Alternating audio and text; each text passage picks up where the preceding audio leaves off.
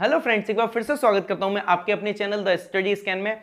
आज हम मैथ्स की जो अधूरी रह गई थी एक्सरसाइज नाइन्थ क्लास की 13.3 उसके बचे हुए, यानी कि fifth six seventh eighth question का सॉल्यूशन आपके सामने लेके आए तो चलिए शुरू करते हैं आज का क्वेश्चन नंबर फाइव तो देखिए क्वेश्चन नंबर फाइव हमें दे रखा है क्या? कि what length of tarpaulin three metre wide will be required to make a conical tent यानी कि पहले आप ये देखिए कि एक आपका कोनिकल टेंट दे रखा है कुछ इस तरीके से, ठीक है? जिसकी हाइट हमें दे रखी है, जिसकी हाइट हमको दे रखी है कितना? एट मीटर और रेडियस यानी बेस रेडियस दे रखी है हमको सिक्स मीटर हमसे कहा गया है, इस टेंट को बनाने में जो थ्री मीटर वाइड तारपुलिन है, उसके कितने क्लोथ की, यानी कितने कपड़े की ज़रूरत पड़ेगी? और जब ये टेंट आपका पूरा बन पाएगा एंड द सेकेंड थिंग कि इसमें उसने ये भी कहा है कि 20 सेंटीमीटर अप्रोक्सीमेटली ऐसा है जो इसको बनाने में, काटने में, सिलने में, एक्स्ट्रा छोड़ने में क्या होता है? वेस्ट हो जाता है। अब देखिए, जो चीज़ वेस्ट हो गई है, बेशक वो वेस्ट हो गई है, लेकिन जिस दिन वो खरीदी गई होगी थी या जिस दिन वो लेके आए होंगे, उस वेस्ट चीज़ का भी तो पैसा दिया गया होगा। यानी उस चीज़ को आप इग्नोर नहीं कर सकते। वो चीज़ भी आंसर में कहीं ना कहीं मेंशन ज़रूर होगी। तो देखिए, सबसे पहले मैं बात करूँ एच हमें दे रखा है कितना? एट मीटर और जो रेडियस है, वो हमें दे रखी है कितना? सिक्स मीटर अब क्योंकि हमें टेंट के लिए तारपुलिन उसका एरिया निकालना है दैट मीन्स कि ये निकलेगा इसका क्या? सी एस ए तो यहाँ से मैं सी एस ए में ज़रूरत पड़ेगी किसकी? एल की. एल इक्वल्स टू होता है हमारा H square plus R square आपका पाइथागोरस थ्योरम ये. तो देखिए एच की वैल्यू आपका एट का स्क्वायर प्लस सिक्स का स्क्वायर यानी ये हो गया आपका sixty four plus thirty six add किया. हंड्रेड, यानी ये आ गया आपका टेन मीटर, यानी एल की वैल्यू आ गई आपकी कितनी? Ten metre. चलिए अब यहाँ से इसका सी एस ए निकालते हैं। तो देखिए C S of conical conical tent ये हो गया हमारा क्या? पाई आर एल अब देखिए पाई की वैल्यू हमें दे रखी है 3.14 पुट करनी है इस बार। तो ये हुआ हमारा कितना? 3.14 इंटू रेडियस हमारी 6 इंटू लेंथ ये हो गई हमारी कितनी? 10 अब देखिए 10 से इसको मल्टीप्लाई करते हैं तो ये आपका 31.4 वन फोर इंटू सिक्स हो जाएगा। सिक्स से इसको मल्टीप्लाई करते हैं तो देखिए सिक्स फोर जा ट्वेंटी फोर का फोर टू कैरी हुआ सिक्स वन जा सिक्स और टू एट सिक्स थ्री जा एटीन एक के बाद डेसिमल मीटर स्क्वायर ये आपका इसका सी एस ए आ गया। अब उसने कहा है क्या कि 20 सेंटीमीटर इसमें वेस्ट यूज़ होता है। यानी कि आप ये लिख लीजिए कि जो आपका वेस्ट है वेस्ट मटेरियल वो है हमारा कितना? 20 सेंटीमीटर। इसको मीटर में चेंज करते हैं, चलिए इनटू मीटर, क्योंकि बाकी सब चीज़ें हमें मीटर में दे रखी हैं। तो ये हो गया आपका 20 upon hundred that means 0.20 metre. तो अब जो आपका 20 मीटर है, वो आपका क्या है? वेस्ट है, ठीक है? ओके अब मेरी बात को समझिएगा। उसने बोला है कि इस टेंट को तीन मीटर वाइड आपका तारपुलिन बनाता है। यानी कि तारपुलिन का एक राउंड लिया तो वो ऐसे आया, दूसरा लिया, ऐसे आया, तीसरा लिया, ऐसे आया। या मैं दूसरे तरीके से कहूँ तो समझिए, जैसे कि ये मार्कर दे रखा है, अगर मैं इस पे तीन सेंटीमीटर का इस तरीके से टेप लपेटता हूँ, ऐसे करके तो एक राउंड होगा, फिर दो राउंड होंगे, तीन राउंड चार राउंड पाँच राउंड और वो जो राउंड होंगे, वो टोटल लेंथ के बराबर होंगे, यानी कि जितनी लेंथ इसमें यूज़ हो रही है। तो हमसे वही पूछा गया कि उसकी लेंथ क्या होगी, यानी कि हमसे ये पूछा गया है और दूसरी चीज़ आप ऐसे समझ लीजिए कि जो भी टार्पलिन होगा, यानी टेप होगा, वो आपका ऐसे ही तो होगा, यानी length into breadth rectangle wise होगा। उसने विथ उसको दे रखी है तीन मीटर लेंथ हमसे पूछी गई है। तो लेंथ ऑफ़ तारपुलिन तारपुलिन ये आपका हो जाएगा कितना? एरिया यानी C S A of conical conical tent upon width of tarpaulin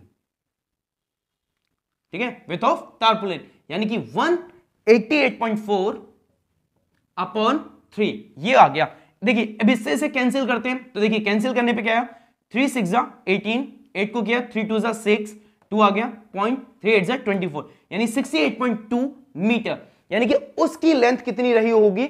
Sixty eight point sixty two point eight metre रही थी। और इस sixty two point eight metre में आपका 27 ट्वेंटी सेंटीमीटर अभी वेस्ट मटेरियल भी रह गया है। तो जो टोटल लेंथ बनेगी total length of tarpaulin tarpaulin वो हो गई हमारी कितनी?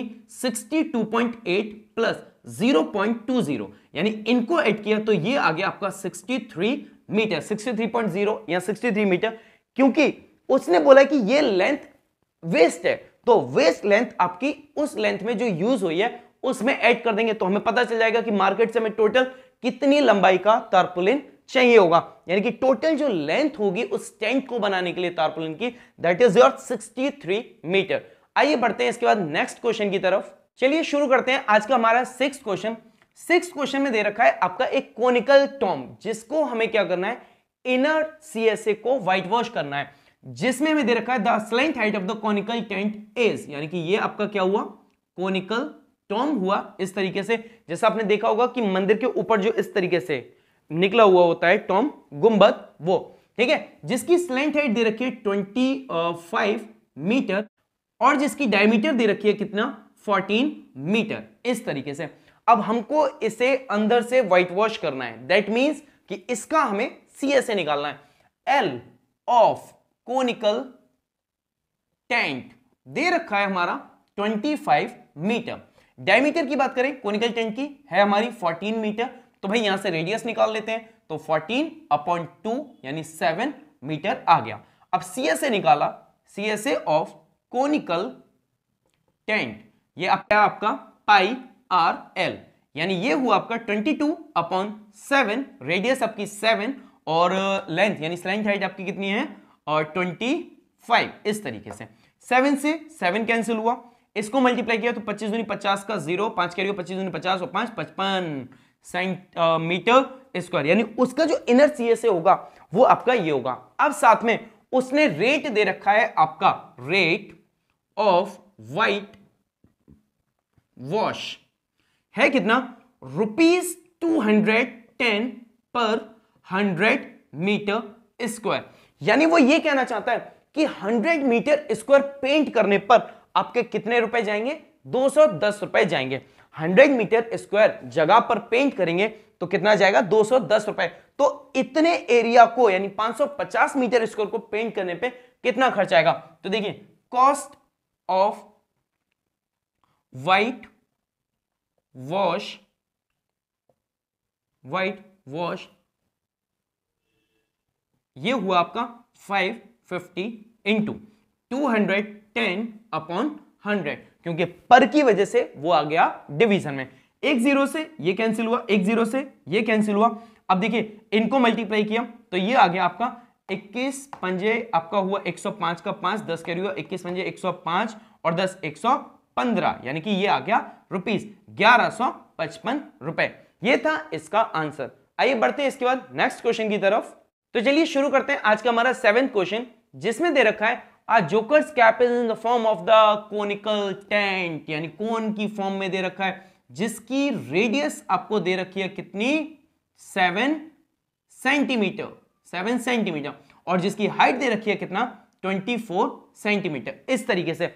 अब हमसे कहा गया है, हमसे कहा गया कि हमें इस कोन का, यानी कोनिकल जो आपका कोनिकल कैप बना हुआ है, इस कोनिकल कैप को बनाने में कितनी शीट का यूज़ हुआ है, वो निकालना है। साथ में हमसे पूछा गया कि ऐसी ही अगर 10 कैप बनाने को आ जाए 10 कैप तो उनके लिए कितनी शीट की ज़रूरत होगी? तो देखिए, अब मैं बात करूँ जोकर्स कैप की, या आपका जो कोनिकल कैप ये है, ये कोनिकल कैप नीचे से खुला हुआ होता है। नीचे से खुला होता है, तभी तो हम इसको पहन पाते हैं, सिर इसमें डाल पाते हैं। अगर ये नीचे से बंद होता तो बेशक यहाँ पे हम टीएसए निकालते, लेकिन वो कौन, यानी कि कैप जो होगा, पहनने लायक नहीं बचता। तो इसका निकलेगा यहाँ पे क्या? सी एस ए और सी एस ए के लिए पहले में ज़रूरत पड़ेगी किसकी? एल की। एल इक्वल्स टू हो गया आपका H square plus R square that means आपका 24 का स्क्वायर प्लस 7 का स्क्वायर 576 प्लस 49 ये आपका आया कितना? 9 6 15 का 5 एक कैरी हुआ? सात और चार, ग्यारह, एक, बारह का दो छ पच्चीस. ये आपका निकल के आया 25 और सेंटीमीटर यानी एल की वैल्यू आ गई आपकी 25 सेंटीमीटर अब यहाँ से सी एस ए निकालते हैं। तो देखिए C S A of conical cap तो ये हुआ आपका कितना? पाई आर एल यानी 22 टू अपॉन सेवन रेडियस आपका सेवन एल आपका 25 इस तरीके से। ये यहाँ पे कैंसिल हुआ, इनको निकाला तो 25 दूनी 50 का ज़ीरो पच्चीस दूनी 50 और 55 सेंटीमीटर स्क्वायर अब हमसे कहा गया है, ऐसी 10 कैप का, यानी 10 कैप का एरिया क्या होगा? तो area of sheet used to make 10 such caps कि 10 कैप को बनाने में तो ये हुआ आपका 5 5 0 इंटू टेन यानी कि 5500 सेंटीमीटर स्क्वायर शीट की ज़रूरत पड़ेगी। आइए बढ़ते हैं इसी के बाद नेक्स्ट क्वेश्चन की तरफ़। चलिए देखते हैं एक्सरसाइज का लास्ट एट्थ क्वेश्चन और हमारी वीडियो का भी आज का एट्थ और लास्ट क्वेश्चन तो देखिए क्या A bus stop is barricaded from the remaining part of the. ठीक है? Hollow यानी कि आप देख सकते हैं, जैसे कि आपने देखा होगा कि बस स्टॉप पे या नॉर्मली रोड्स पे रोड के बीच में डिवाइडर लगा होता है। और डिवाइडर के साथ में क्या होता है कि कुछ जगह पे जो आपने देखे होंगे पिंक कलर के पिंक और व्हाइट कलर का मिक्सचर में कुछ ऐसे कोनिकल बॉक्सेस होते हैं, जो डिवाइडर की जगह पे रख दिए जाते हैं, ठीक है? डिवाइडर की जगह पे रख दिए जाते हैं। इस डिवाइडर जो बैरिकेड है, उसकी डायमीटर दे रखी है हमें 40 सेंटीमीटर और इसकी हाइट हमें दे रखी है 1 मीटर। और इस टाइप के आपके 50 कोन्स रखे गए तो हमसे पूछा गया पहली चीज़ कि भाई इसके लिए कितने एरिया की ज़रूरत होगी? यानी कितनी जिस शीट का ये बना हुआ है, उस शीट का एरिया क्या रहा होगा? तो सब देखते हैं। अब हमें एल की ज़रूरत है, यानी कि हमें क्या निकालना है? सी एस ए क्योंकि वो जो कोनिकल बैरिकेड होते हैं, अंदर से हॉलो यानी खोखले होते हैं, और क्वेश्चन में भी ये गिवन है। तो चलिए एल निकालते हैं। एल इक्वल्स टू हो गया आपका H square plus R square ठीक है? अब एक चीज़ समझिए। रेडियस आपका हो गया 40 अपॉन टू कैंसिल किया तो 20 सेंटीमीटर आ गया। अब ये मीटर में है, ये सेंटीमीटर में तो हम इस सेंटीमीटर को पहले मीटर में चेंज कर लेते हैं, क्योंकि क्वेश्चन में ऐसी ही इंस्ट्रक्शन है। आर इक्वल्स टू हो गया आपका 20 upon hundred equals to 0.20 metre अब ये वैल्यू बनी यहाँ पे तो देखिए वन का स्क्वायर प्लस आर यानी कि 0.20 का स्क्वायर ये हुआ। इसको किया तो ये आपका वन का स्क्वायर यही रहा, और इसका स्क्वायर किया तो ये हो गया आपका कितना? दो, इसका 400 400 का मतलब है आपका ये, अब दो और दो के बाद डेसिमल यानी कि ये आ गया आपका इस तरीके से। यानी ये बन गया आपका कितना? 1.04 इस तरीके से बन गया। और 1.04 की वैल्यू दे रखी है 1.02 मीटर ये आपका क्वेश्चन में ही गिवन है, ठीक है? चलिए एल की वैल्यू निकाला अब यहाँ से इसका सीएसए निकालते हैं। CSA of conical conical barricade barricade तो देखिए पाई आर एल यानी आपका 3.14 रेडियस आपका दे रखा है कितना? 0.20 point two zero into one point zero two इस तरीके से ये निकल आया। ओके अब देखिए, हम आगे इसमें कुछ नहीं करते। पहले हम 50 कोन्स का भी एरिया इसी में मेंशन कर लेते हैं। तो area of 50 such conical barricades barricades तो देखिए, ये हुआ आपका कितना? 3.14 point one four into zero point two zero into one point zero two into fifty इस तरीके से।